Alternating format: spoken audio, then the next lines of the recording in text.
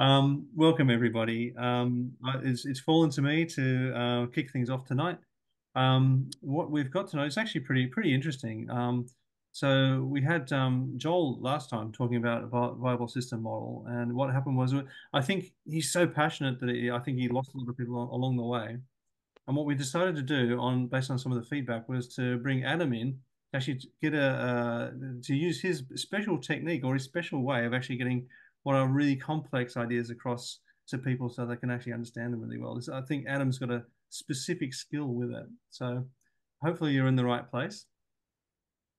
Um, okay, so welcome to Systems at Play as well for those who haven't been to Systems at Play before.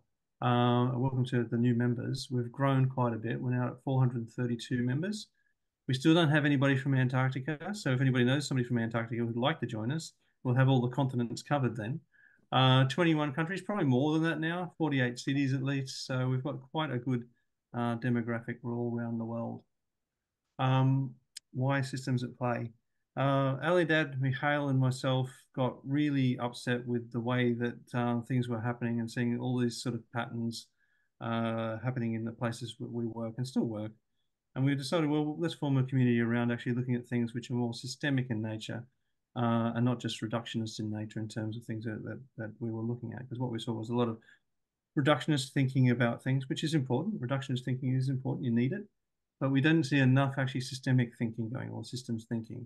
So we started to explore that. And that's how we started to form a community around this to find like minded people to have these discussions about things. It became pretty much a passion of ours. Uh, since then, we've definitely done a lot of exploring of viable systems models, uh, critical systems heuristics, systems dynamics as well, uh, and open systems theory, which is uh, the thing we're, we're most uh, enamored with at the moment. It'll probably be something else next next year. Uh, about Adam. Um, so Adam's been helping um, leaders since 2012 uh, with strategic organizational space in leadership. he's got 25 years of leadership experience in organizations uh, trademark work, engaging expertise with a touch of humor. So if you if get a chance to watch some of Adam's videos, please do. They're they're they're both they're they're pretty amazing. Um, and still, I still I think one of the dangers about being humorous about things that you lose the essence. Adam doesn't lose that essence. He does a really good job of blending the two. Um, it brings together vast knowledge of strategic and organizational systems and people models to create insights and understanding and prior to establishing his consulting practice, he was an executive at RAA and worked and saw success of senior leaders in insurance, finance, education, legal industries, both in Australia and in the UK.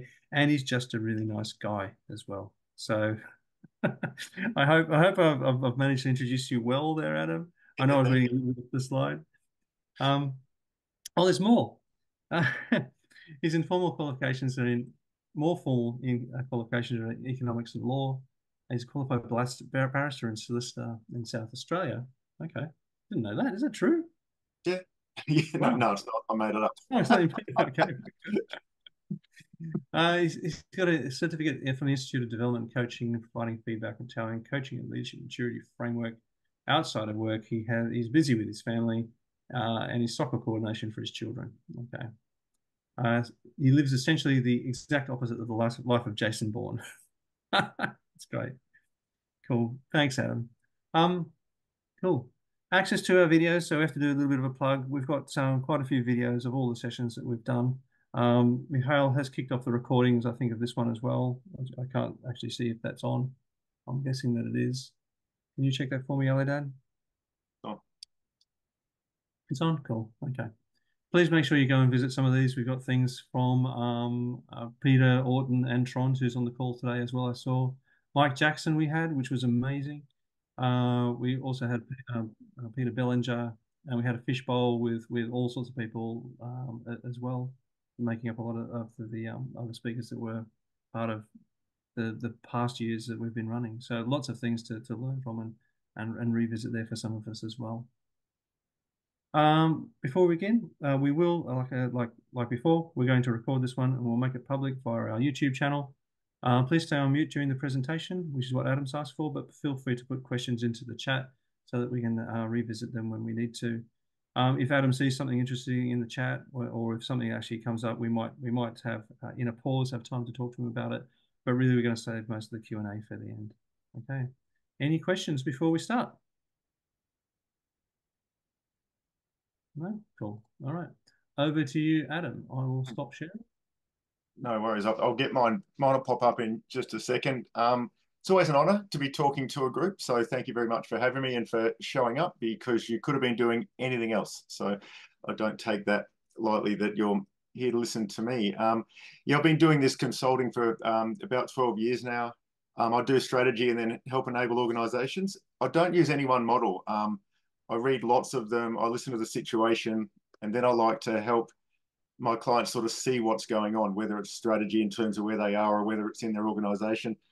The viable systems model, though, is one that I often find myself drawing up or sort of going through in front of clients. Um, so the way I describe it, um, my level of knowledge, um, there's actually there's a guitar in the background.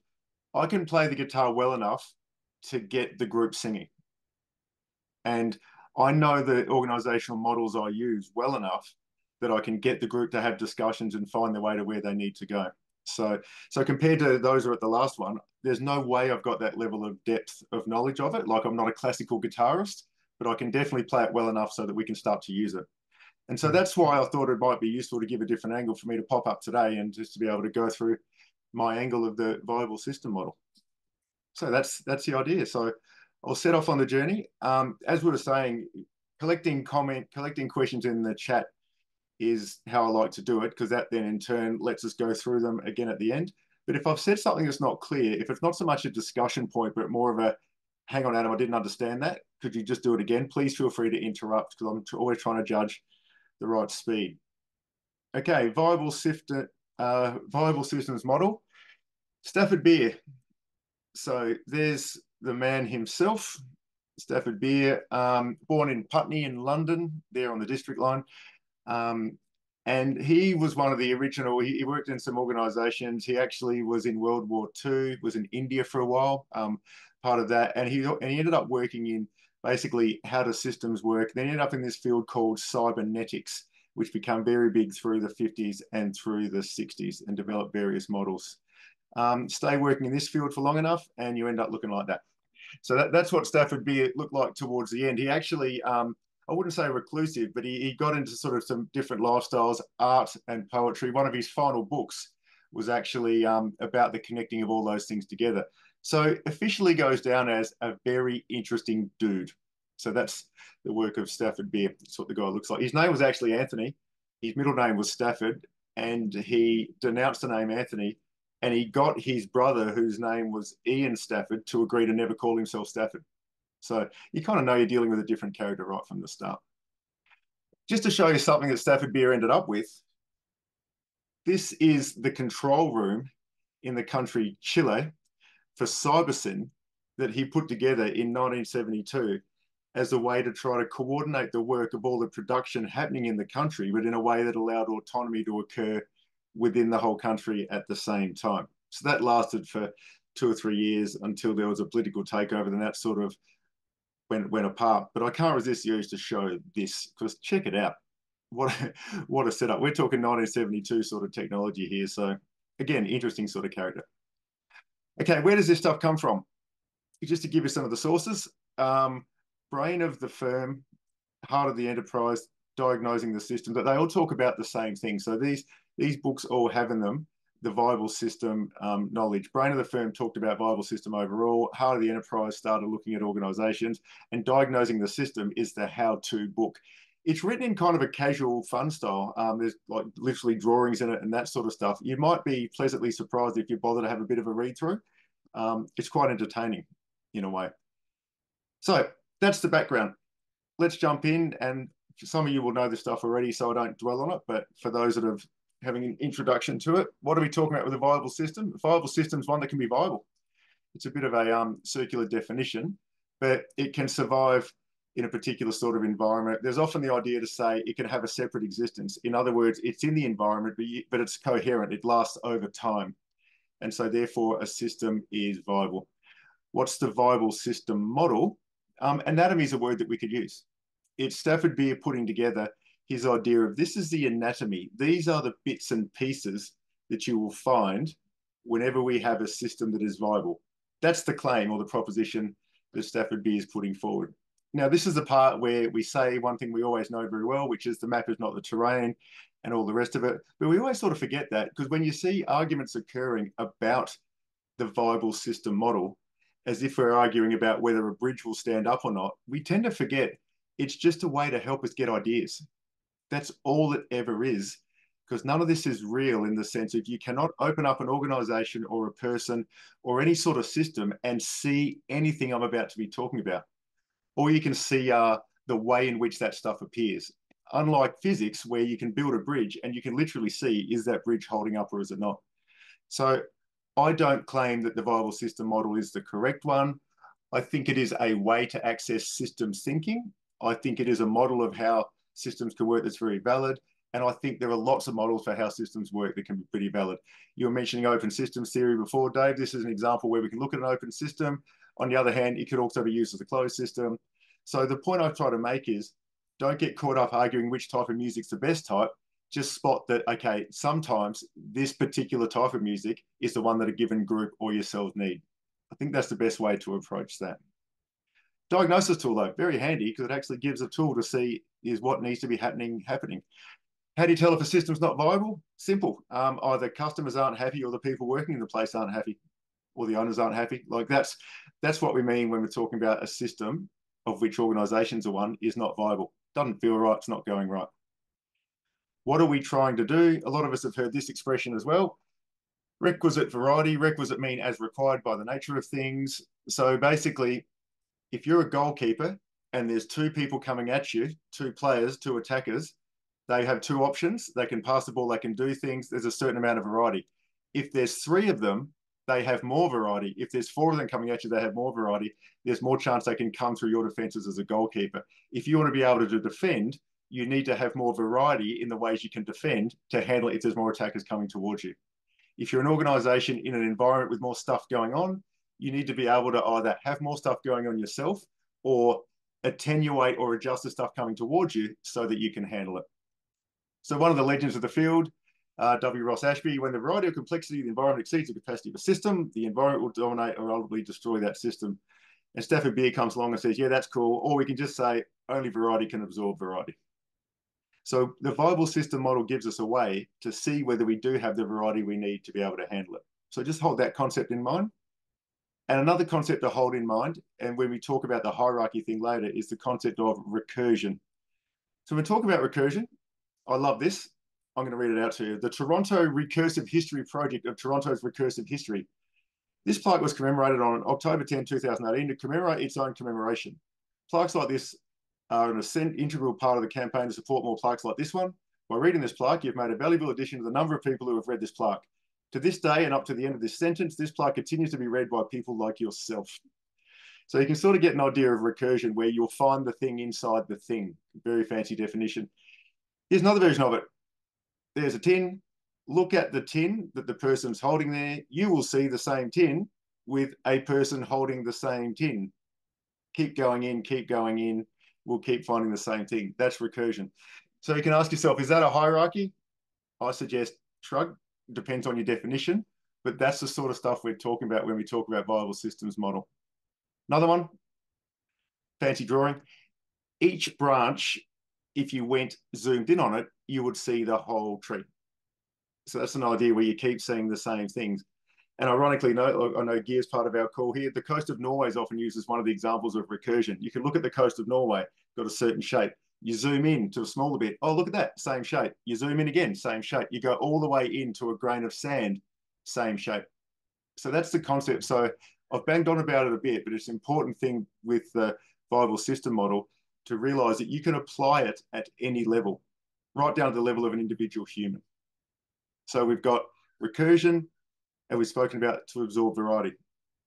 I want to address one other thing before I jump into the model itself, and that's is it old school? To which I put this in front of you.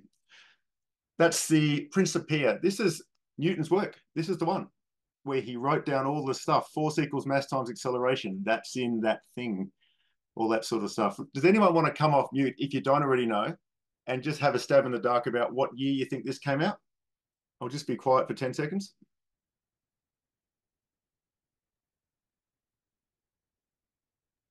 1830. Thank you for putting that out, Rajesh. So the answer we get is 1687. Wow. Now, yeah, it's actually there in the uh, the text. In the printing. Yeah, 86, I was going to say. I know. There you go. CL XXX Oh, look at that. Yeah. Must be right. Well, it is 1,500, 600, 1,600, 50, 70, 87, 1687. Yeah, right. Brilliant. Imagine if they get the 1687 Super Bowls. That'll be a tough one to put up there, won't it? Super Bowl 1687. So here's the point I like to make. This stuff still works. And we know Einstein come along, we know relativity, we know quantum, but none of us are getting that close to the speed of light and none of us are getting that close into quarks down at the very microscopic thing. So this stuff still works. And the viable system model is nowhere near as old as this stuff, but just because it's old school doesn't mean it still works. Now, I'm a fan of repackaging old school stuff to make it more accessible to people. I'm into that. I used to be all, they're just repackaging the old stuff. What's the big deal about that? But then I got a bit less immature and realized if it brings common sense stuff forward, it's great. And a lot of the viable system model, it's common sense. But I always just like to present that to people.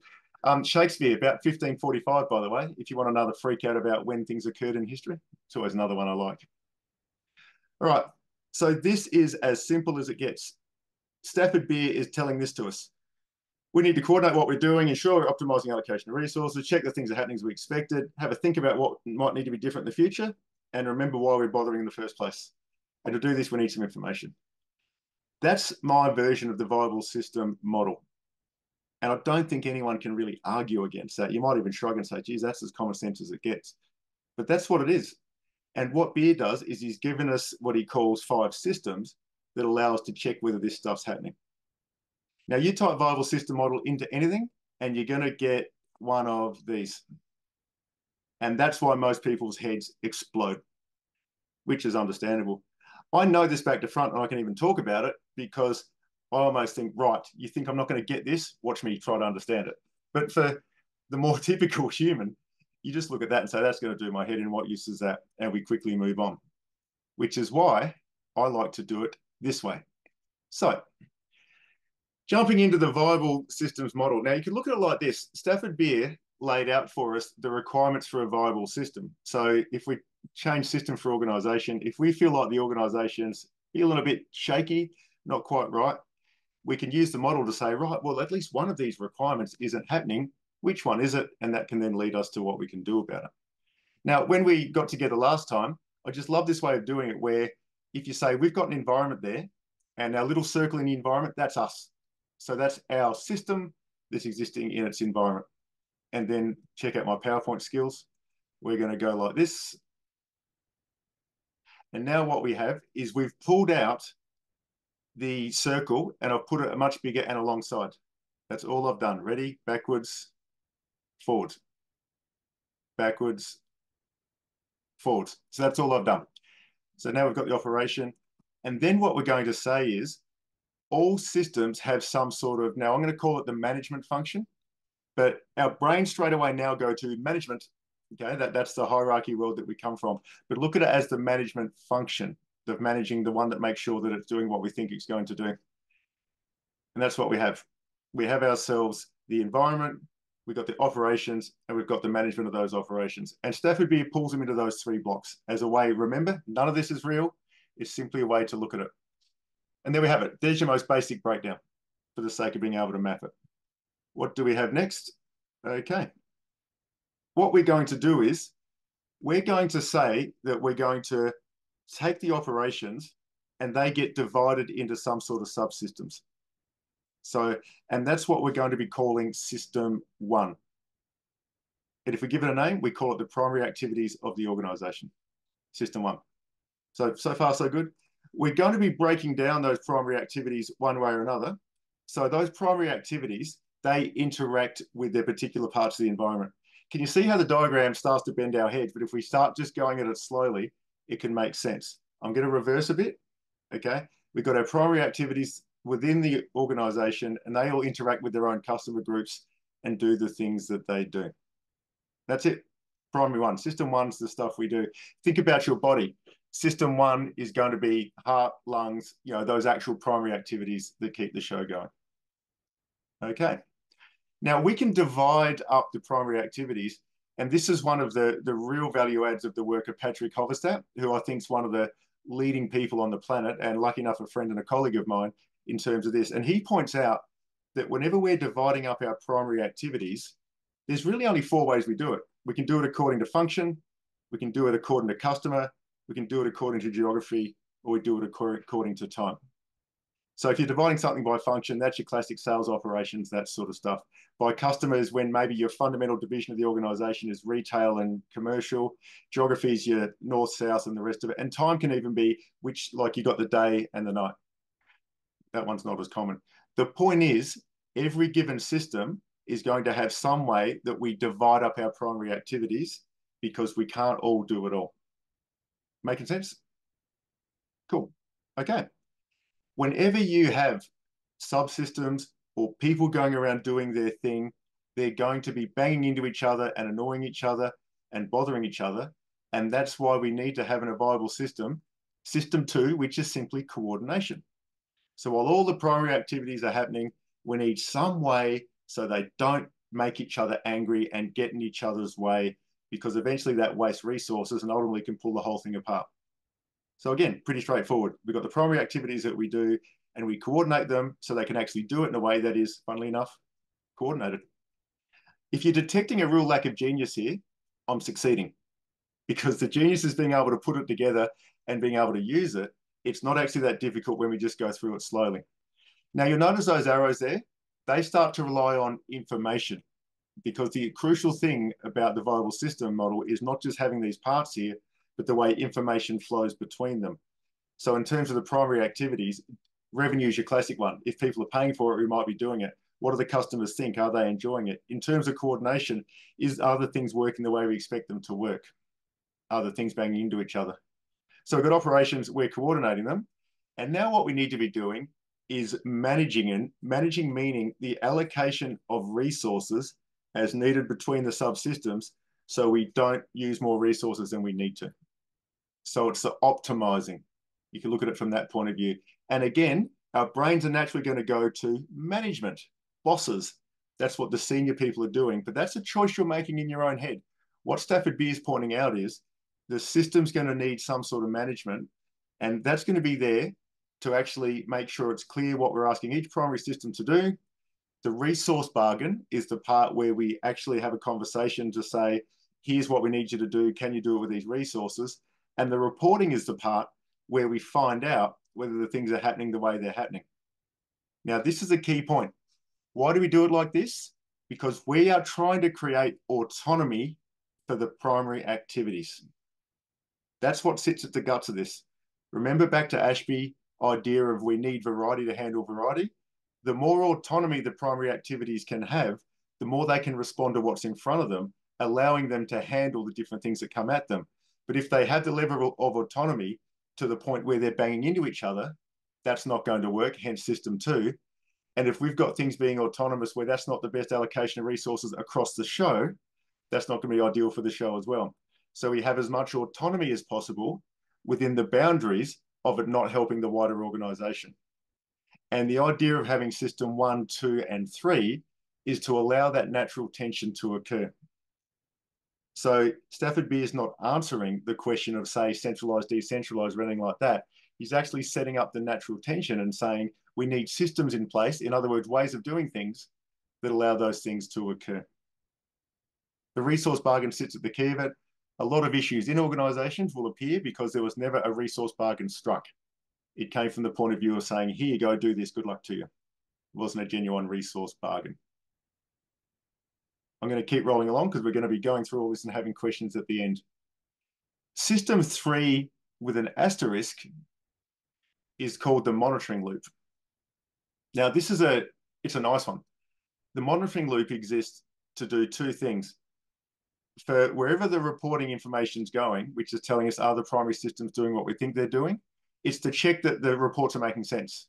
They do actually reflect reality. The other purpose of the monitoring loop is if there are people doing the primary activity who aren't the same people as doing the management, we can build trust to know that the people who are doing the managing things are aware of what's happening in terms of the primary activities and vice versa.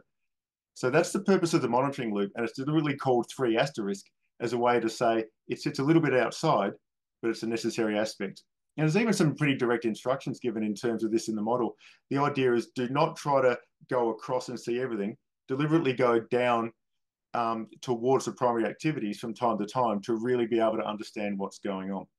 In the case of a collective, that would mean if there are a group of people that also do primary activities and look after things, from time to time they all look at each other's stuff as well to see what's really occurring. So we've got system one, primary activities, system two, coordinating, system three, delivery management.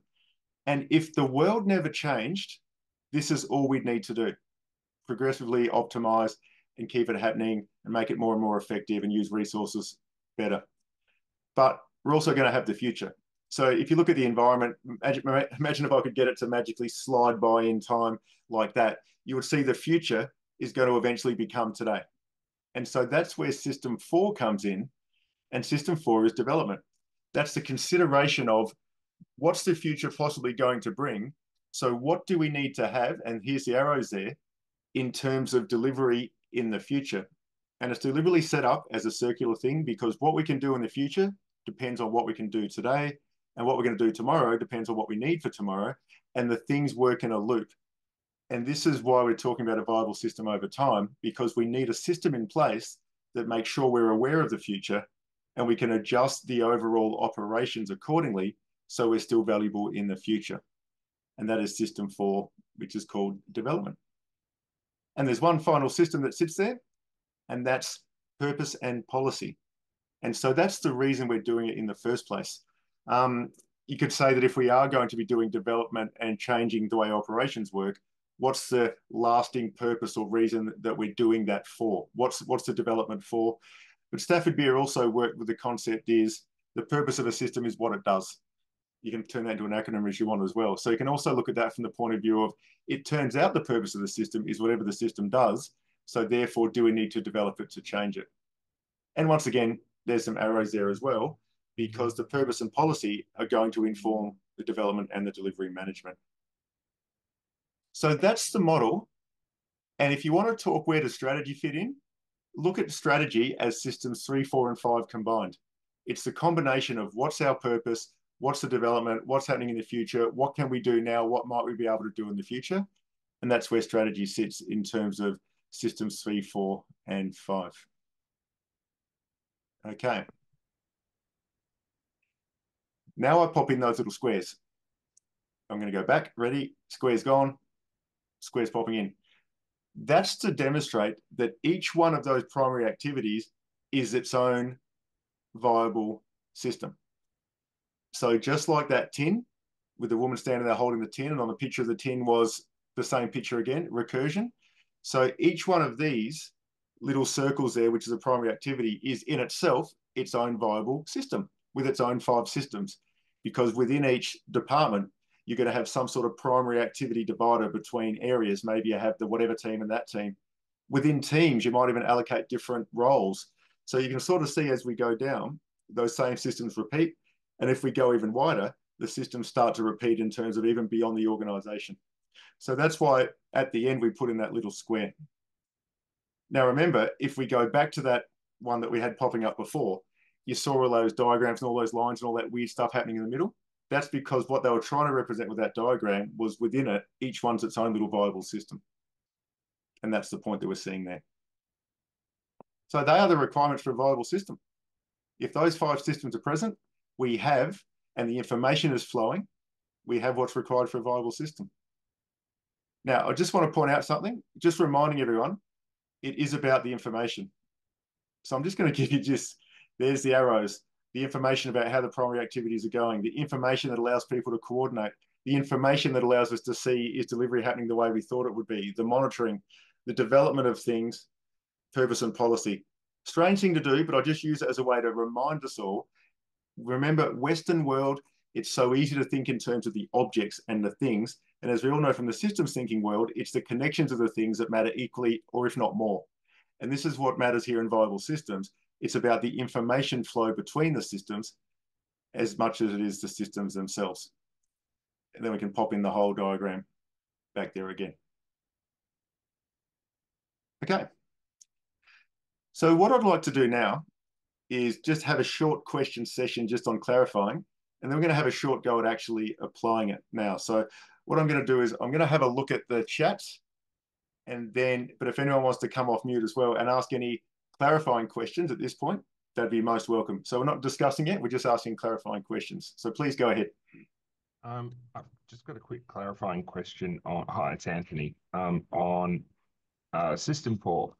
Um, Yes. For development, uh, can you just clarify what we mean?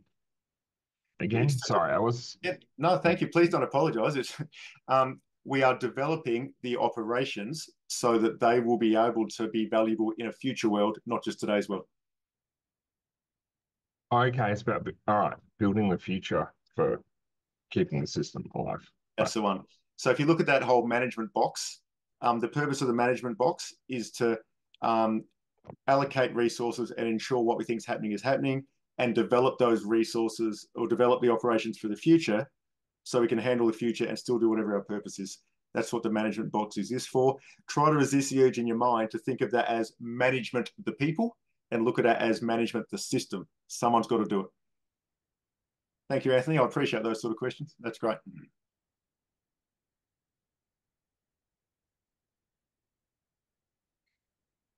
Now, Dave, is there anything in the chat? When I'm the one presenting, the chat doesn't. No, hang on, I can bring it Uh, up. there's uh, there's fair bit of questions, Adam, in the chat. Do you want me to go through one by one from the top? No, that's okay. I think we'll jump into the exercise, and, and then then we'll come back to that. So, so um, this is just going to be a quick one. So what we'll do here is the opportunity to apply, because the applying part, it's not difficult. You just get better and better at it.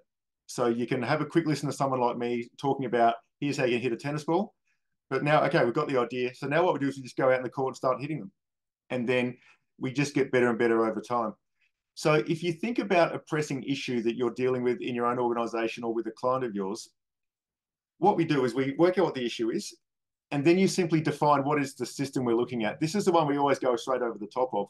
But are you talking about the department? Are you talking about the whole organization? Are you talking about one team? It's always important to say what is the system, because remember, there is always a larger viable system that your system's a part of, a, a later stage one or a higher one, and there's always a closer towards the front or a smaller one that, that's also underneath your system. So we define the system and then we ask ourselves, where do we think the pain's coming from? Is it that we don't know what the primary activities are? Is it that they're banging into each other? Is it that we don't know whether the things are occurring the way we thought they would?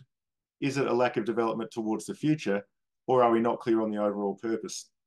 If I can give you kind of the cheat code, it's coordination more than we think. It's system two we like the idea, especially around the executive table. Surely it can't be coordination. It's got to sound more impressive than that. But if you think about a lot of problems in organizations, you've just got areas banging into each other, and that's a coordination problem. It's not even necessarily resource allocation.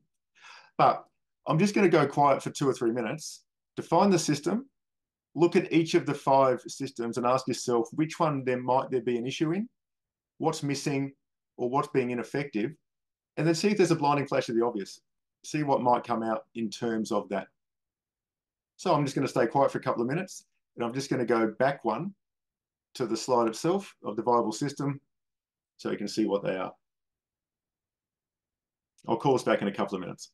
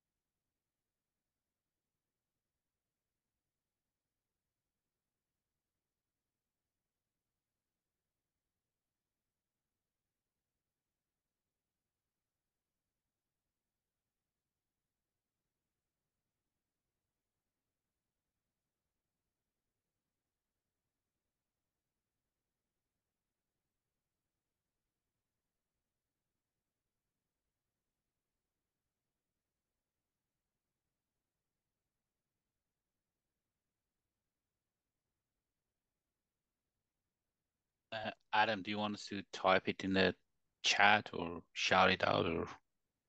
No, it, it's okay. In a couple of minutes, I'll just ask people to just talk about what, what stood out to them in terms of doing the exercise. So I'll call us back in about a minute.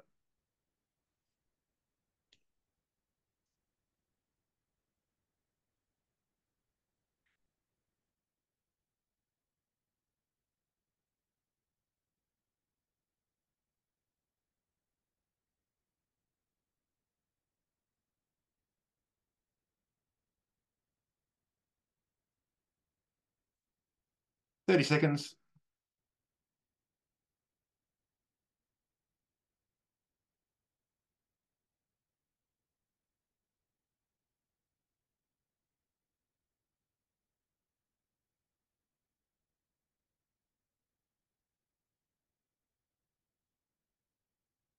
Ten more seconds.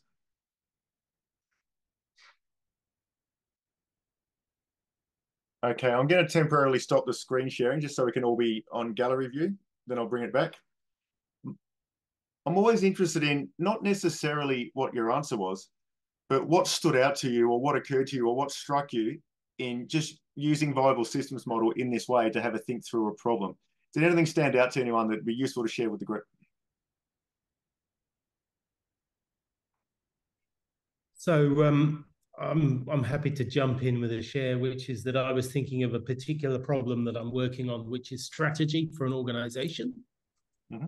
and um, you know, the, the, it felt like the primera prim, the primary problem around strategy that I was seeking to address was actually around coordination, and uh, in a way, it's too many activities being done and yeah lack of lack of coordination if you like across the operational units but then it was also a little bit of purpose and policy well purpose yeah so getting yep. clear on that and uh, you know there were some flow-ons into development as well hmm. um, mm. yeah interestingly enough in the chat uh, bernie made the comment that you know development was also possibly r&d and so yes. that sort of you know, fitted into that. So it sort of felt like, uh, yeah, look, it was an interesting frame to do some diagnosis. I'm not yet sure whether it gave me any insights. Yeah, I'm with you, Martin. I'm with you. And if we think about the idea of the information flows, because if you are doing strategy generally for an organization, you are doing that system for development. And what we're looking for is information that allows decisions made in that area to be effective. And so if you've got a bit of mess going on there, it means your information's coming at you. It's not to use a fancy word attenuated, which means slimmed down so it can make sense. And if you take information from the policy system and also from the um, management of delivery, that allows you to have information around the table that can then lead to good decisions of system four. But in a way, the engagement of you makes sense because what they're saying is our system four is not is feeling a bit shaky. Let's get some help on system four. They're just not using this language. Yeah, yeah. The, the other thing that came across interestingly was the whole requisite variety thing with Ashby, which is to say that, you know, uh, if you focus on less things, then, you know, you're effectively um, attenuating, in your yeah. words, you know, the, the variety in the system. That's right. But the classic attenuation is also to say we're only going to worry about one market instead of four. That way you deliberately reduce your variety to handle what you're about. So, David, what thought was in your mind? Yeah, I was thinking about um, accumulation of technical debt in systems, particularly yep. software systems. That's a common problem we run into. And I was trying to think, look at it through this lens. And at first, I'm going, oh, is it we're not thinking about the future enough about the implications of it? It's like, yeah, maybe. But I was thinking about maybe where um, uh, we can't see what's actually happening. So the people that have the decisions and policies and whatever, or the responsibility to make to do the um, uh, coordination and, and other things around that can't see that specifically. And so there's something around that in the in the making that visible so that they, they can um, then make an active decision about is that in line with where we want to be in the future.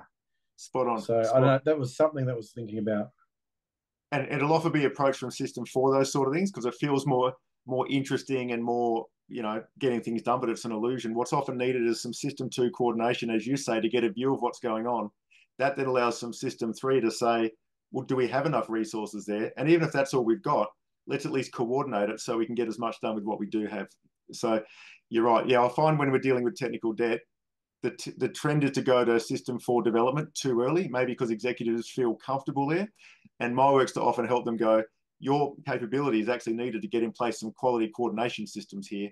Let's not even worry about development yet, even though your MBA says that's what you should be doing. It's not yet. So thank you, David.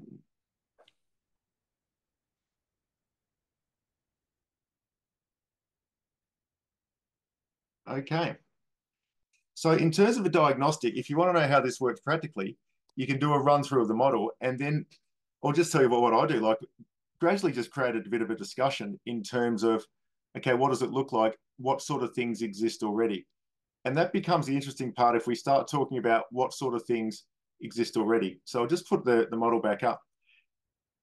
Can anyone think of an example of a system to coordination thing that's incredibly not fancy?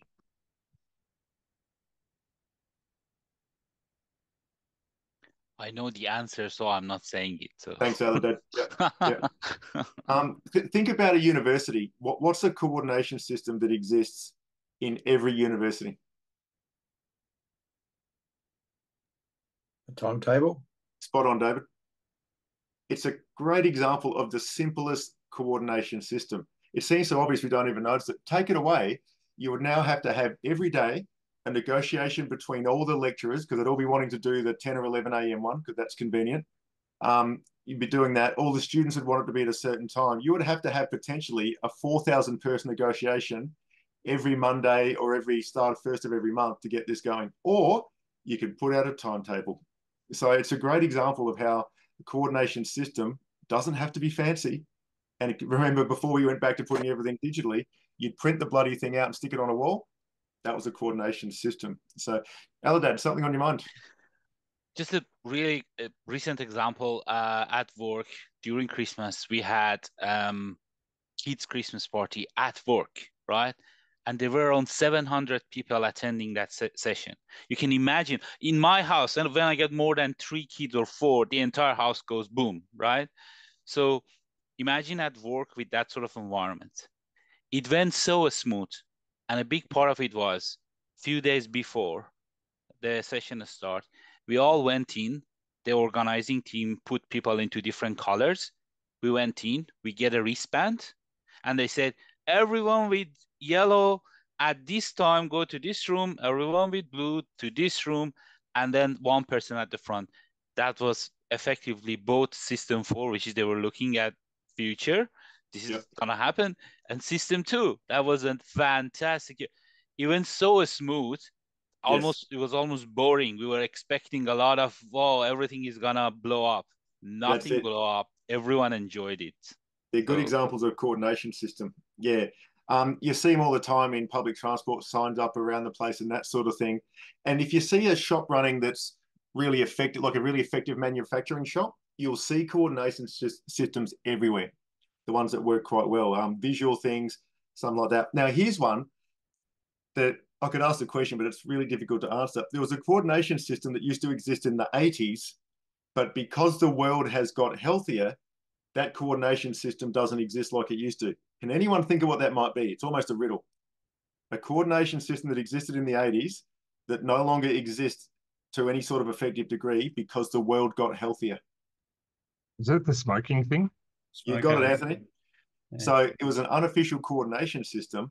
But if the people who could make decisions all happened to smoke, then a coordination system would be to get together and talk about the work. And of course, it's a highly exclusionary practice and blah blah blah. So you know, it's it's not it's not ethical. But the point is, those things are examples of one. I know of one place where they changed where the people eat, which meant that the same group wasn't eating in the same location every day.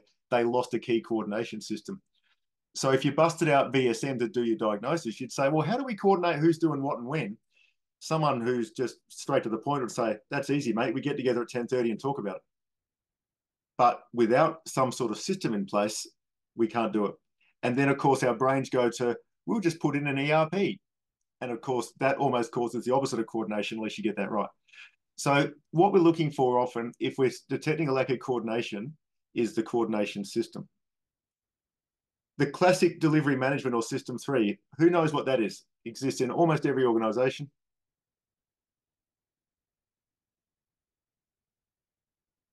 What do you do once a year? Everyone has a fight about it.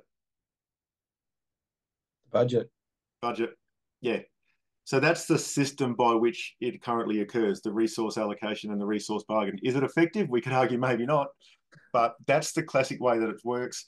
And performance reporting is often, again, in terms of the information coming back up. So when we're looking at that, we're actually asking the questions about how effective is that and is that occurring? But often, sometimes in the places, if we don't have a way that people can see whether the restaurant's making money, there's information missing in terms of being able to manage the restaurant. Eldad. I think as you were talking, I was thinking a really fancy way of looking at it. Um, not fancy, but just another way of looking at it. you could look at this, um, some of these systems and say, okay, let's say budgeting is so is our system three. I'm going with the speed that the environment change. Nice. Simple as that. If you're doing your budgeting annually, but your environment is shifting faster, then you have a problem. So you could actually apply that lens into each of the systems as well. How often do you have to update your strategy or look up in the system? That's a uh, really that's a really good point. Yeah. The development work occurs during the traditional strategy day. Um, in my experience of working with clients, um, their previous experiences, they haven't really done strategy. They've done a version of delivery management because what they've discussed is these are our five pillars and they've organized the projects into their swim lanes and they've called that a strategy. Now, that's not useless work. So I'm not having a go at that, but it's not actually strategy because it's not collecting information about the internal and external worlds and then using judgment and intuition to make some decisions. But if you think about the case of a senior manager or a manager within a classic organization, they're also making development decisions. If we don't get training in this area, we're not going to be able to do the job next year. We're going to need to learn how to sell that new product. That's examples of development work that occurs, you know, at that lower level of recursion. So any given system, and for yourselves, it's I want to do a big bike ride next year, might cross your mind. I better start doing some training. That'd be an example of some development work for your human system. And maybe your bigger purpose is because I want to live a more active life. So, so that's how all those sort of systems can come together. And by engaging a group in a discussion, and my preferred way of doing consulting is present the idea or the concept and then join with them in discussing it. I, and mainly because I, I, hate writing reports, I actively don't like it. I would pay someone to do it rather than get paid myself. And I find it more effective just to talk about the model, then get them to work through it.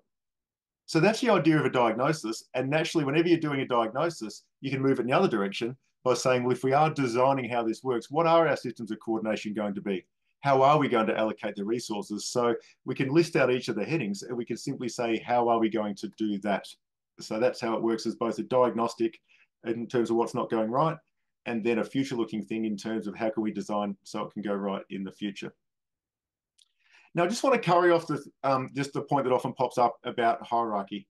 Um, now, hierarchy is not automatically bad. A dominant hierarchy can be. This is actually from um, one of the books. And Stafford Beer says the production controller does not have higher status than the system one managers. They have more knowledge about what is happening in the rest of the organization. In other words, they have the vantage point to see across the show, but it doesn't mean they're a higher class of person. While it's true that knowledge is power, in this case as in any other, the production controller's power is limited to anti-oscillatory regulation. In other words, the production controller exists to stop things swinging from here back to here, back to here. It's equivalent to stopping the goods going in a lift up to this floor, not our floor, going down the lift to that floor, not our floor, going back up again. Production controller is there to play the coordinating role, but they don't have to be a higher class of human. So the idea is a presentation, as Stafford Beer says, is of say system two in this example, shouldn't be threatening, but it often is because the role is unclear and people start saying, I'm the one that's going to tell you what to do. But that doesn't come from system two. That's agreed as system three. So that's one of the important things about hierarchy in terms of the viable system model. Nowhere in the model does it say this is the group of people that must do this or this is a separate group of people.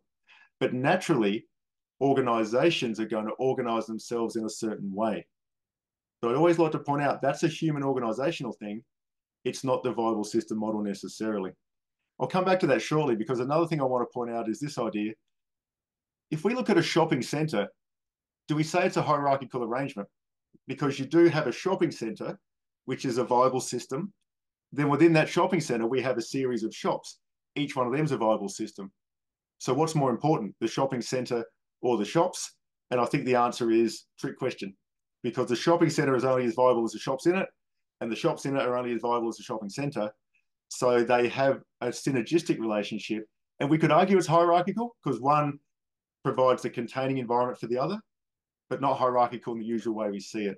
So I always like to point this out when we're talking about models where you do have recursions or levels to remember that these sort of hierarchies exist, but it's a choice about whether we see them as enabling and containing versus seeing them as dominant and power over. And just a couple of examples where viable system, Martin, I'll come back to you in just a tick.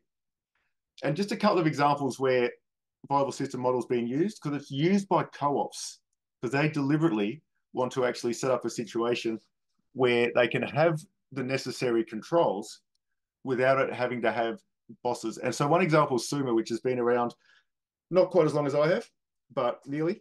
And what they are is um, they're a Whole Foods co-op, and they deliberately used the viable system model because the reason a co-op brings this in is it all starts great, then you get a bit big, and what do you know? Love alone's not working anymore. But we don't want to bring in traditional, um, what you would call traditional hierarchy. So the viable system model pops up, and this is where I like to use an expression that, that I came across years ago. It's about rooms and not roles. So what I mean by that is you don't necessarily have to have system three delivery management person, but you need to have a system three delivery management metaphorical room. So when it's time to get together to say, how are we doing in terms of delivery management? Right, maybe exactly the same group of people that do the, the primary activities then get in the room and say, right, let's look at our data, let's look at our information, let's talk about which resources are going where. So then we have that room, and then strangely, those exact same people can come out of that room and start packing boxes.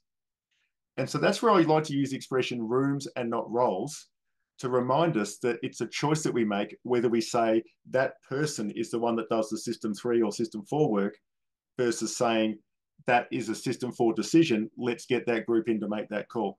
And of course, I think most hierarchies can improve by having a bit of both, where you might have someone whose job it is to make that call, maybe called a general manager on behalf of the whole organization, but to go about it in a way that says, tell me what you're seeing. And just another example is Mondragon.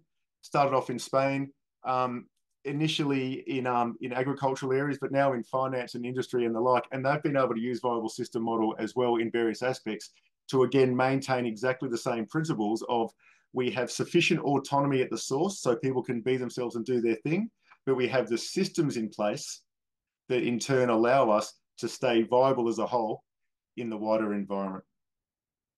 And I'd just like to leave this one in your mind before we all have a chat about it, which is you could say, this is a hypothesis I have, could never prove it. Maybe hierarchy comes from the very human need to be okay in an uncertain world. We're okay by get those with power to protect us. We kind of like the dominant boss in a weird way because it's not my problem. And also by controlling what we can to make it certain, which means if I can be that sort of boss, I can relax because I know people will do what I say. So ironically, us humans create the perfect conditions for dominant dependent hierarchies. Maybe we secretly like it that way, which is why any model such as the viable system model can be bent into a hierarchical shape pretty quickly. But as those examples of Mondragon and Suma and many others show, that's a choice that we can make as people. If you want a couple of sources, the Fractal Organisation, my colleague and friend Patrick Hoverstadt, he's, he's there in the UK. He lives um, halfway between Manchester and Leeds. I can't remember the name of the place exactly. He's written the most accessible book um, on the viable system model. I really like it. And that one on the right, you see, that was actually got some examples of those ones that I spoke about. And what's great about the case studies is it didn't work great. It's a real world thing. But he went and wrote for cooperatives, here's how to use the VSM for that. So there are a couple of sources, but I recommend starting with the Fractal Organisation if you're interested in it, because Patrick's just, uh, his writing's excellent. So that's my bit in terms of sort of being able to go through my stuff. So now we get to the part where we get to all have a little bit of a chat about it. Adam, that that was fascinating. Of course, um, one of the best talks I've ever seen about oh. Thank you. Um, really, really appreciate it. Um, I um, uh, in your example where you said you have a general manager who's taking care of a, a broad group. Um, you, I mean, when you mentioned that um, maybe we like hierarchy because it gives us a bit of a certainty. Mm. I think the opposite example of that is the, what you provided in the, you have a room. Um, instead of seeing a hierarchy as a person, we see it as a mechanism. Yep. And also, uh, one thing that is, I'll cautious everyone. That's one of my big bear, um, bugbear with a lot of even some of the agile methodologies is a general manager will never have the requisite variety of everyone in that team, her or him, or it, right? So or they. So um, so uh, that is why uh, I think um, these new models, uh, the models where you tap into the collective, um, so you provide mechanisms so we can tap into the collective consciousness of a group for managing themselves rather than relying on a single person. A single person, regardless how great they are, even if you're Gandhi or whatever, um, you cannot have the requisite variety that the entire people that follows you or report to you have. Uh, there's another example, just psychologist um, uh, called Beau Lotto. He talked about a space of possibility. Yes, people, the space of possibility is very different. The general manager see teams different, but collectively, when you put together a space of possibility of group of people, that suddenly expanded significantly. Problem is up until now, it was hard to make those sort of decisions. Now with technology, with uh, with with experiment with a lot of different organizational parts, we do not need traditional hierarchies anymore it's very rare that there is a need for traditional hierarchy. That's my hypothesis, obviously. And, and what and what you'll get from the viable systems model is the idea of saying whatever you call it, you're going to need some sort of system three that's actually looking at the allocation of resources and are we getting what we expected. The thing we can now see is um, open to us is let's figure out the best way for us to do that given this group of people and our circumstances. And I think that's the power of VSM, which is why it's popped up a bit these days, is to be able to say, no, we still need that system, but it's optional how we go about doing it. So, yeah, thanks, Eldad. What else come to mind, Martin? I saw you had some comments in the uh, in the chat as well as you were going to yeah, mention something. I, have a actually a very simple question, Adam, which is uh, I love your example of the shopping centre and the shops. So, how would you represent that in VSM? You know, why? How would you sort of let's say create the dependencies? Yep, I would set it up that um, if I had to draw it on a diagram, you would have each shop as a primary activity of the shopping centre. Yeah. And then within each shop, each shop would be its own VSM as well. But the wider containing system of the shops is that. And then I'd look at each one of those systems. And the linkages of information is the coordination between the shops. And I'm sure shopping centres have some various forums and ways that they actually make sure that everyone's happy. And um, and if you're talking about allocating resources in a shopping center, I'm guessing that's we're going to look after that section before that section, and that sort of thing. What VSM tells us is if the information's not flowing and we're not making those decisions, as Eldad said, at the right um, speed of the loop, we cannot be as viable. So that that's how that would come about. Thanks. Hmm. By the way, I, actually, I just want to say, great presentation. Really loved it.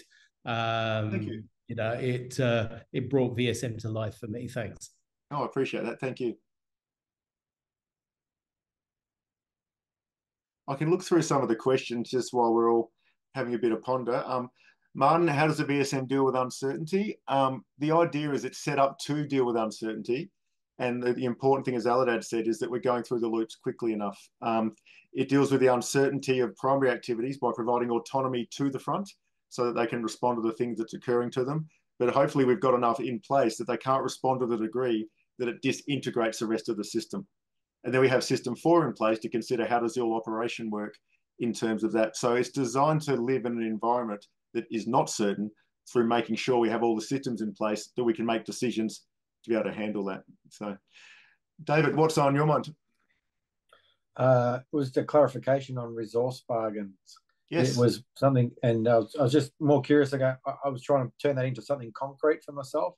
Yeah, what sure. are some common sure. examples or your explanation of that? Yeah. So the resource bargain works well when you're talking to a group of mates and you're saying, "Do you reckon you could take care of that for me?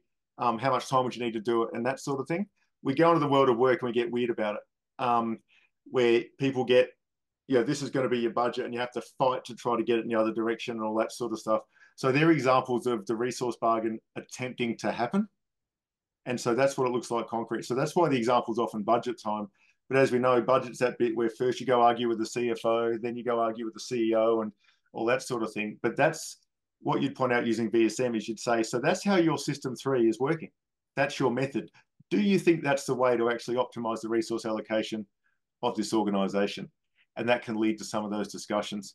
So that's what the resource bargain is. And look at it from the point of view of we want to create autonomy as much as we can with the primary activities within the bounds of not upsetting the whole. And so by agreeing the resource bargain, which is in return for this budget, you will provide this stuff to that group of customers, we can now set up the conditions for them to have autonomy. And if you look at it, the opposite of a hierarchy, a group of six people working out their own partnership, each one of them might say, here's what I'll contribute with this budget. And everyone says, that sounds good to me that would be an example of a system three resource bargain occurring. Mm. Yeah, it piqued my interest because um, mm, often called capacity planning or something similar, and and just seeing the dysfunction around that and the results. Yeah, um, so that might be uh, coordination sometimes. If you're capacity planning according to what's the best way to optimize what we've got, that's going to be coordination. If it's the decisions about here's how much we're going to give you and this is what we'd like back. Let's talk about that. That then becomes system three. And again, okay. the point is to have those conversations. And later on, we can say, did we cover system two or system three? That's always the trick with all this stuff. As in, if the stuff's happening, who cares whether they're using the words or not? Yeah. Yeah. Thank you. System two and three are the big ones in organizations. System four, generally not as effective as it should be, but system two and three would eliminate so much pain if it was taken seriously. Or sorry, if it was applied more seriously. So. Uh, sorry, just jumping there uh, quickly. There, Dave, your example of capacity planning. Uh, I'm facing a situation where the organization system four is not working well, as well as system two. They always are facing a problem with a number of people working on projects, and then always last minute they say, "Oh, I need this additional skill set. I need this additional people. I need this additional." So the the thing is, they um, communication lines between different systems is not working well because the operation is going doing things and they're busy with today and now. System 4 is not looking at the new the, the new projects that are coming through. System 3 is not looking at allocating the right capacity to the right project so none of those systems are working well. And if they're working well, the connection between them are not working well. So sometimes it is not a single system that is dysfunctional. Sometimes it's just a combination of them.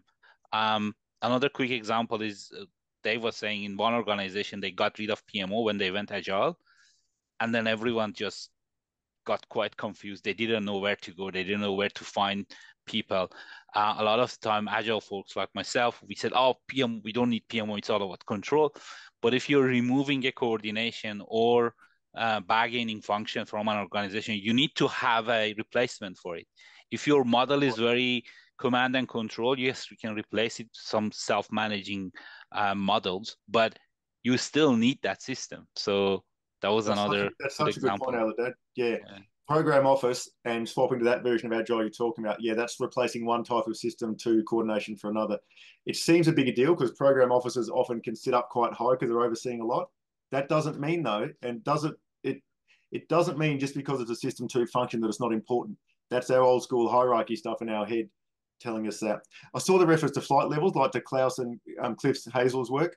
So the flight levels does um, does respond. It's another way to put um, the systems if you talk about a whole organization.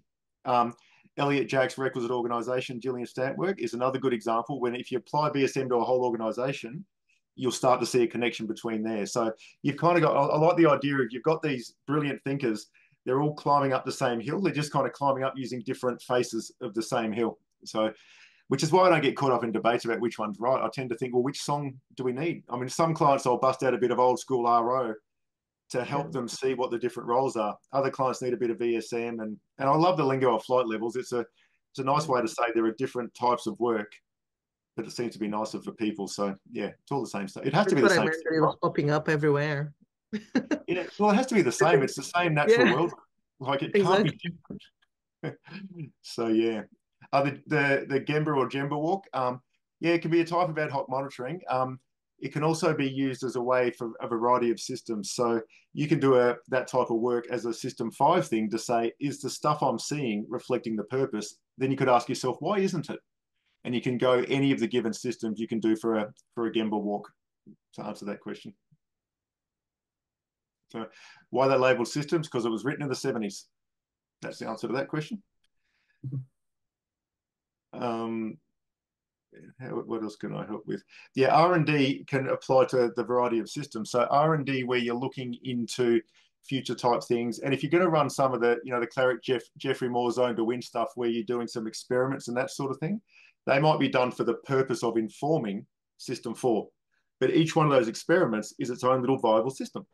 It's going to have primary activities, needs to be coordinated, and the rest of it so that's how that can come together. But you might be doing R and D for System Three to think if we rearrange this whole show, would it work a lot better?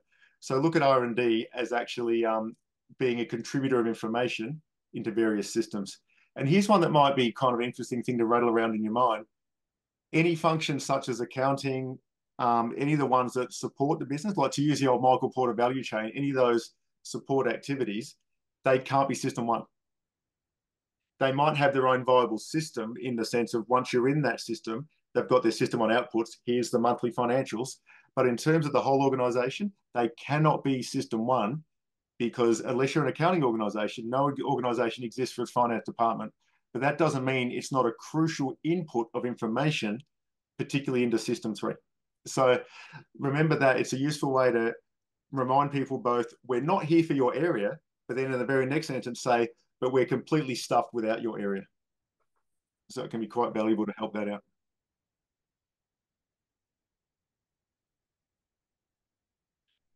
Okay. I think it all makes sense looking at the comments. Hospital triage is a great example of system two coordination. Okay, the company still do budgets? Hell yeah.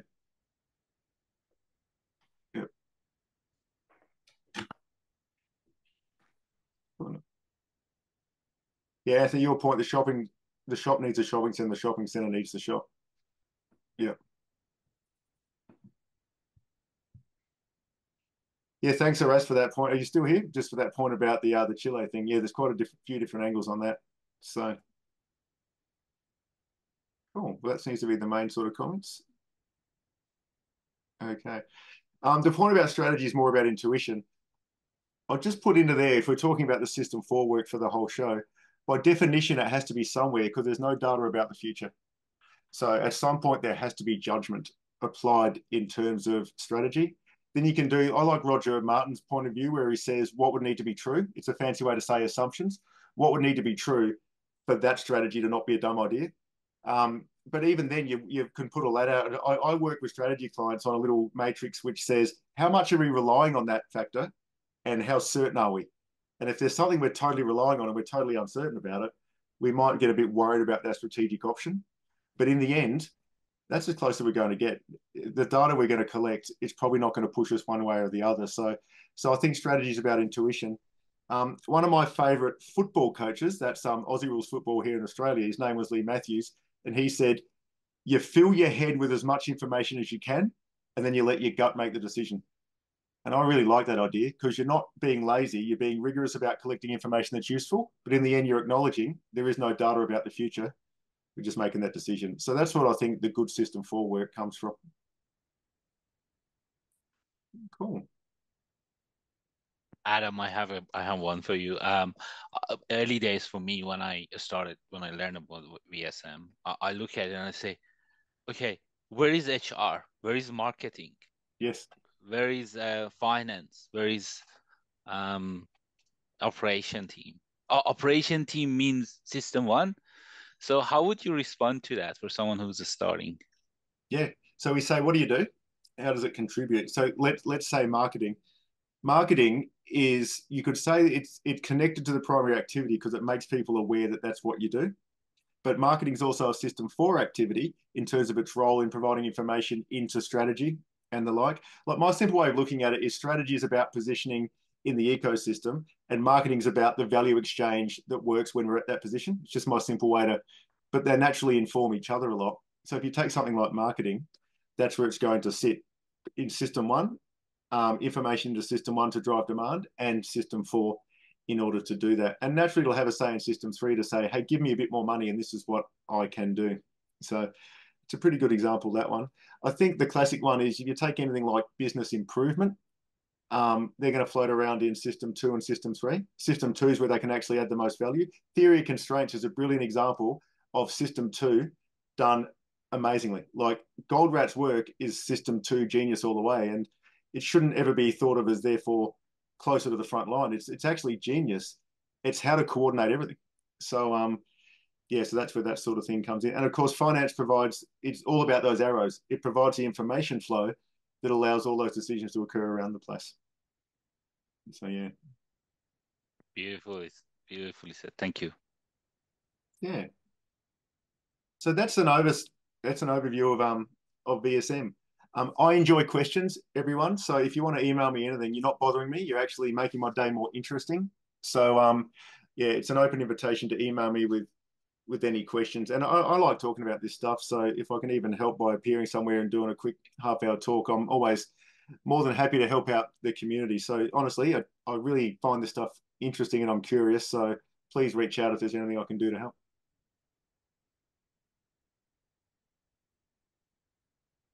I think Carl had a right. question there. Was that a question, Carl? There, so Martin. Yeah, oh, sorry, the first Martin. name, by, by the way, is Martin. huh? Okay, um, Martin. Yeah. So if we uh, look on organization, I think you have these uh, three columns. So the anatomy, how the organization is structured, so the org chart. Uh, you have the uh, physiology, so the processes, and you have the neurology, so the communication channels. Nice. My point of view is that VSM is really focusing on this uh, neurology, so the communication information flow. Nevertheless, you need somehow some processes and some clarity on the organizational structure. So, any ideas how you transform this knowledge from the VSM into the other columns? What Yeah, yeah. tips do you have? Yeah, definitely, Martin. Um, you're picking up that it's more about neurology than the um than the anatomy. That's um that's really insightful because it is about that information flow and making sure the right information gets to the people that make the decisions. So, what VSM says is for all of those things, it's almost a version of shrug whatever you need to make sure that those systems are getting good information to make those calls.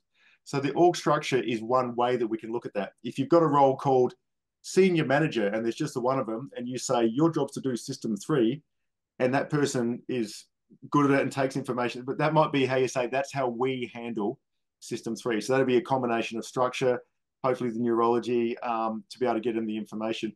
But there's different ways that you can do it. A collective will have a group of people meeting in a room to talk about that. So if you want to take any of the three you mentioned the neurology part is actually the most important and you just have the the anatomy or the structure part to enable the information flow so the work happens. So so that's why VSM, you could I don't know whether you'd call it a meta theory but it kind of sits outside of like if you take something like records organization that says these are your levels of work and here's how you line them up VSM would say yeah that might work and there might be another way to do it whereas Elliot Jackson would rise from the dead and say there is only one way to do it yeah, whereas VSM tends to be a bit more like as long as you're covering that stuff your system's probably going to be viable, assuming you're making enough money. Does that sort of help at all, Martin? Yep, thank Cool. you. I like the I like that the neurology of it. Cool. Yeah, David.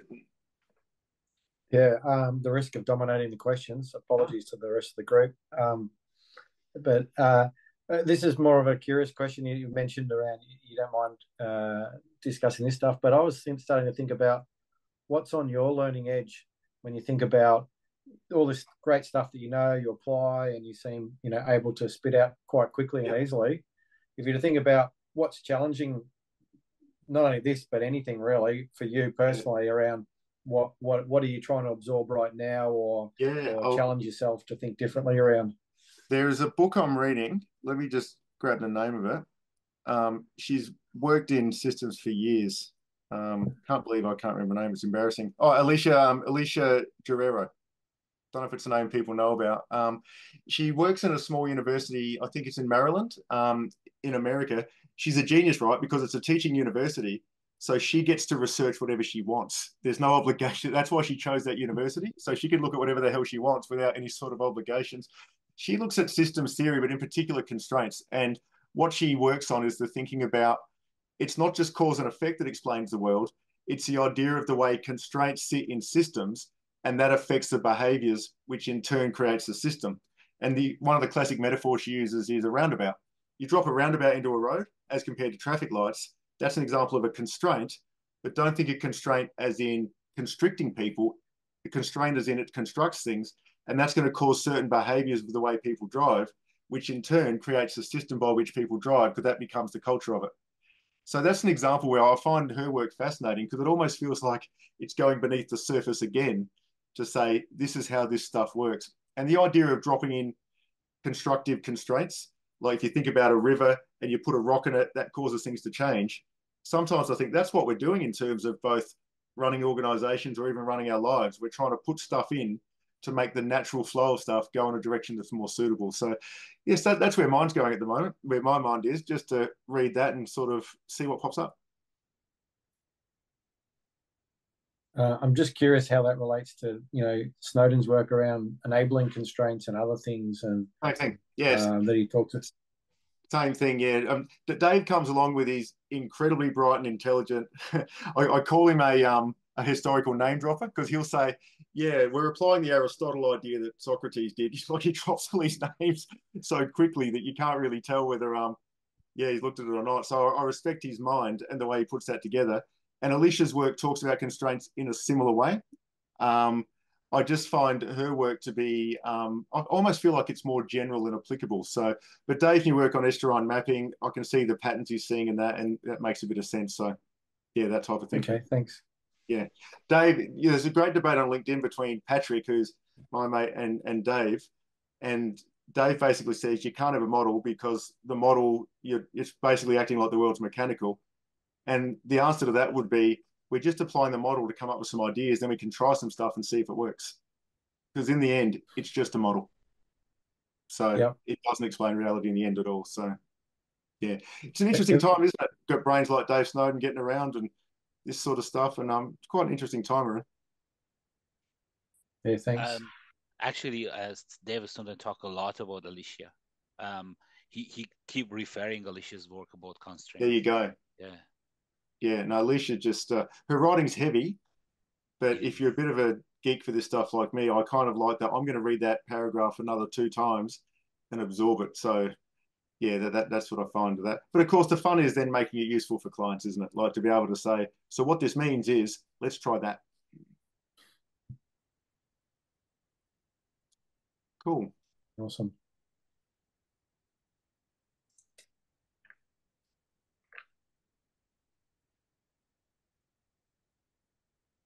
Oh, any more questions coming through? I've actually lost my my my. Oh, there it is. Okay, cool. Thanks for your comment, Rick. I, I saw that. The Droste. Yep. I like that. It's my, my favorite. My Dutch heritage. My Dutch heritage. Yeah. my favorite Dutch word well. is my favorite Dutch word is canal, Rick. Canal. The, uh, okay. Yeah. Uh, the canal. No, the, the, yeah. Yeah, you got to say the G sound and the CH sound in the one word. That's brilliant. Yeah, it's the same sound. It's the same sound. Yeah. yeah. Thank you, Adam, um, and also Ali and Dave for hosting. Very, very insightful. I'm very glad I joined. So thanks for Joanne Lurie for putting me onto this. She suggested this um, this meetup to me. So thanks. Cool. Oh, a pleasure. Yeah. It's uh, definitely a pleasure. I mean, Jones, uh, Jones, one of our speaker alumni. Uh, I see Jones joined us as well. Uh, hi, Joan. Oh, hi, John. Just for those who might not have seen it, Eldad put a comment up in um, in the comments. Alicia talking about constraints. I haven't seen that video, but um, yeah, just an idea to Alicia's stuff's just great. So um, yeah, it's really worth a look.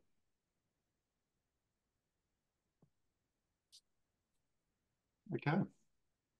maybe one more question. I'm going to encourage. I'm going to encourage one more question. See if anybody's got. What's somebody's got something on the tip of their tongue. They're dying. dying. Bernie looks like she's leaning forward. Maybe I'm not sure. Well, she might just be watching the TV. I'm not sure.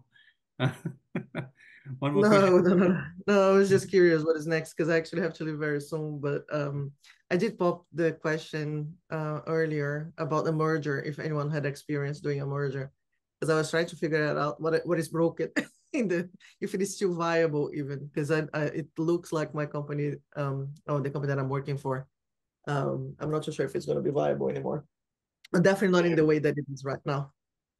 Yeah so so what what's normally occurring there is um you've got the system threes that are pulling against each other. So yeah exactly. you're trying to make an actual viable system to yeah. start with and the difficulty is it's an arbitrary point in a given system what you define as the system. You could just make it yourself. You could make it the whole world.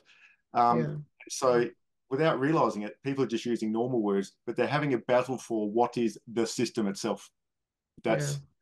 that's what's occurring. So it's, it, it can be tricky but if a group can see that's what's going on sometimes it can change the conversation which can then lead them to hopefully a blinding flash of the obvious. But often i think that's the use of this sort of stuff is if they can approach it from a different angle which is you're all seeing this thing, but this is what you're seeing, that can perhaps pull them out of the idea of, well, I want to wear a red t-shirt. Well, I want to wear a blue one. Red's better, blue's better, you know, which is kind of where it tends to end up. And Benny, um, one point is also about System 5. Quite often what I realize when the co companies join, they have very different identity, ethos, culture. 100%. Very, very little and and uh, uh, and also look the way they they used to work together the way they the things they pay attention to this yeah. the way they see their identity is very different very little yeah. work is usually done during those measures they usually look at how do we manage the it system so we get some efficiencies etc yeah. um, a really good way to address that is run a search conference help the different group to come together for a more des- collective desirable future Right. That's a good so point. Yeah. search conference from OSC is one of the really, really good ways post mergers and acquisitions. Yeah. Hey, Eldad, that's a really good point. In in a way, it's a system five yeah. battle. Yeah, yeah. Could be system five, yes. Yeah, I think it's both in, the, in my case because I'm like recognizing obviously uh, uh, why was yeah, system three I already had recognized, but you have a point on system five. Thanks for that. It's definitely there because one of the discussions right now it's about um, if we are going to exist in the way so that's the question right? Are we going to exist in the way that we previously existed which is a purpose which is system five. Yeah and actually what one thing i didn't mention on the way through is um, um, Stafford Beer would draw a link between system five and system one to say you could say what you're doing and all that sort of stuff but but what are you actually providing to the world? Yeah. and then when that circles has integrity it works yeah, out well. yeah, yeah sure. Okay Thanks for that. My experience, my experience with the merger, it's also both systems sort of need to end for a new one to appear, and that's hard. As you have the loss of the ending yeah. of both the separate systems and a new one. Yeah, so you have the fighting, of course, because I don't want to die. Yeah. yeah. yeah. Well, in our case, I don't think I don't think ours is going to survive because we're much smaller. it's essentially a very big old corporation buying a startup, right? So oh, it's kind of like ended really. And that's what I'm thinking. But uh, definitely the five is what's coming up now, and I don't think we will survive based on that, based on based on money size, you know, and all of the resources that it's on, yeah. on the one that acquired the startup, right? And it's such a good point that Rick's made, yeah, because you're talking about the death, a death here. It's the death of identity, which needs to be yeah. worked through. Yeah. Yeah, it is. And hence what you said about system five, the purpose yeah. is almost close to your identity. Yeah. Yeah. yeah. Problem is in the past, uh, someone at the top tried to impose a new identity, and depending on from which side they come from, they try to impose that identity, as opposed to, okay, now we are a new organization, let's come together and agree on what our new identity should look like. What is that more desirable future for all of us look like and then walk backward from that so mm-hmm. anyway that's uh mm. so just to add to that uh, i love that topic too in um in orsk language for those that are familiar mm-hmm. with uh, that you know there's a thing mm-hmm. called lands work where you can get people to understand their cultures and understand Mm-hmm. what's good and bad about them, and then talk about what do you want to actually create together.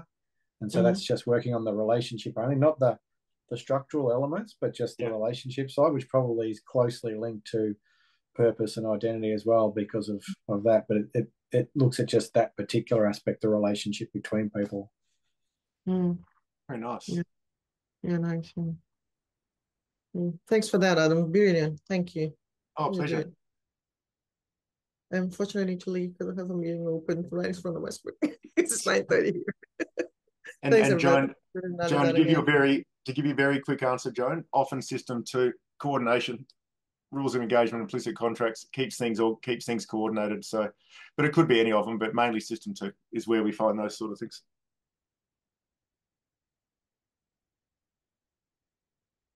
Okay.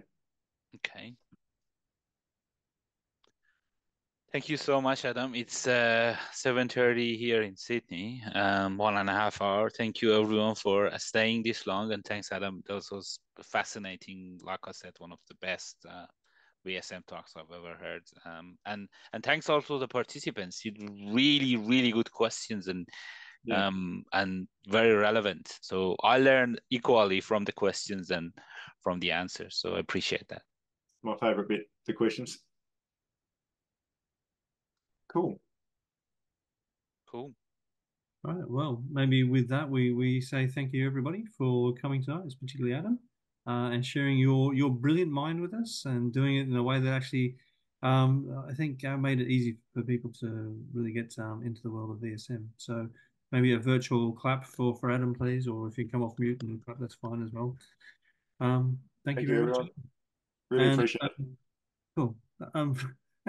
We'll get the video up as soon as uh, Eldad, myself, and Mihail can um, uh, get muster the strength to do the, the editing and put it up there.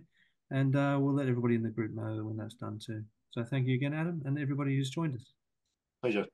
Thank you. Thank you.